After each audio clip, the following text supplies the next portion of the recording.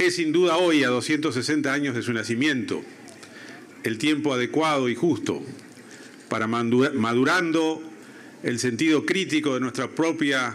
formación como nación, el reconocer una vez más que la figura de José Artigas es el hilo conductor, la columna vertebral de nuestro sentido como nación,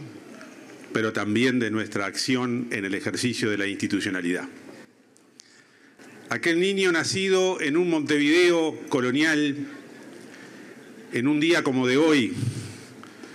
pero que no tenía estas mismas condiciones climáticas, acunado en, en el seno de una familia tradicional, pero jugada acá en América a las transformaciones de una colonia que obedecía a la consigna de la formación del imperio español en América, pero que fundamentalmente aquellas familias habían de apostar al riesgo, al trabajo y al compromiso con la tierra. Son esos valores lo que les transmiten a Artigas desde su niñez, a un niño que justamente no tuvo las posibilidades del acceso a la educación como tienen hoy nuestros niños, y solo una formación en primeras letras para tratar de caminar por la vida, de formarse como adolescente conociendo el trabajo del sistema agropecuario, recorriendo el territorio de la República y como hombre joven dominando el paisaje, la geografía, el territorio, pero también conociendo a cabalidad los hombres y mujeres que habitaban la tierra, los hombres pobres, los criollos, los indios, los mestizos, los esclavos y todos aquellos que componían el sector más desprotegido de la sociedad colonial del momento. Ese Artigas que se va forjando a la luz de esa experiencia vital es aquel hombre que ya maduro va a prestar sus servicios a la causa revolucionaria a partir de la Revolución de Mayo de 1810 surgida en Buenos Aires y que va a hacer carne en este territorio y específicamente en el territorio de nuestro departamento, ya que el cabildo de nuestra ciudad de Maldonado fue el primero en sumarse a la causa de la Revolución de Mayo, cuando Montevideo se mantenía fiel a las ideas regentistas. Ese es el Artigas que triunfa en la principal batalla, que es la batalla de las piedras, y que le da trayectoria, lo proyecta al escenario rioplatense y la causa de la revolución encuentra en él al más fervoroso de los líderes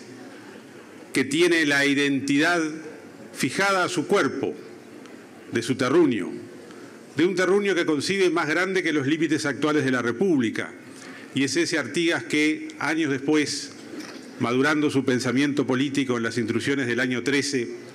va a asentar lo que seguramente es nuestra mayor herencia ideológica.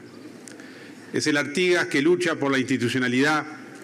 es el Artigas que cree en el sistema republicano de gobierno como la mejor de las soluciones para esta América que empezaba a liberarse del yugo español. Es el Artigas que cree en el equilibrio de los poderes, pero es fundamentalmente el Artigas que cree que el individuo, cada uno de nosotros, es lo importante a la hora de tomar decisiones y que la causa de los pueblos no admite la menor demora, que ello significa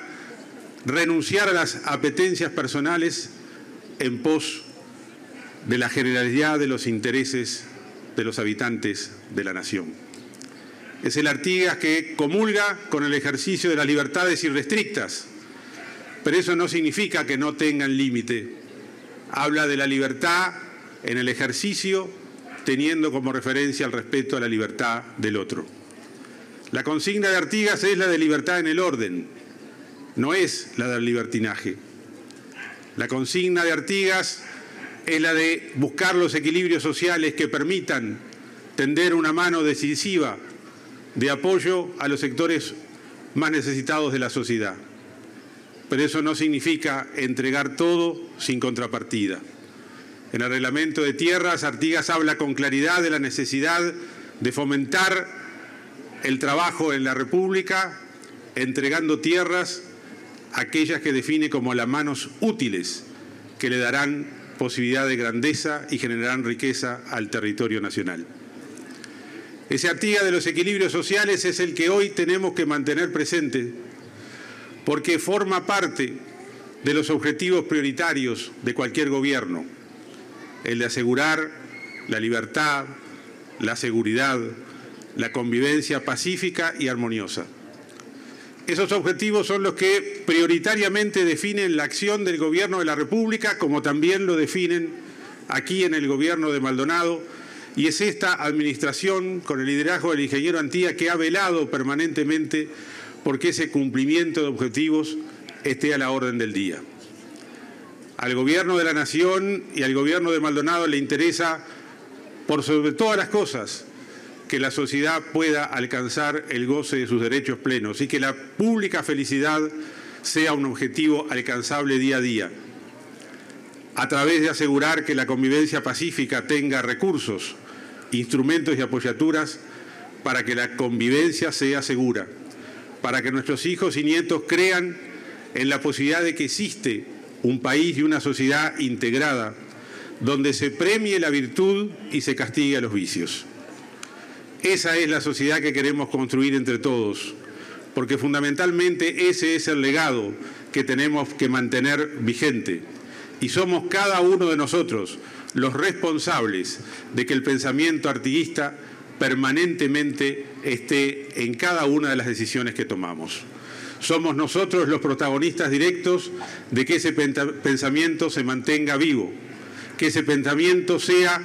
guía, faro y luz de las decisiones que tomamos. Y fundamentalmente saber que a partir del cumplimiento fiel de esos ideales estaremos realizando el mejor homenaje a Artigas.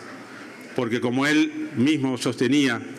es muy veleidosa la probidad de los hombres, solo el freno de la Constitución puede sujetarla. Esa es nuestra principal obligación y es hoy nuestro principal compromiso en este día de su aniversario. ¡Viva la patria! Muchas gracias. Intendencia de Maldonado, construyendo futuro.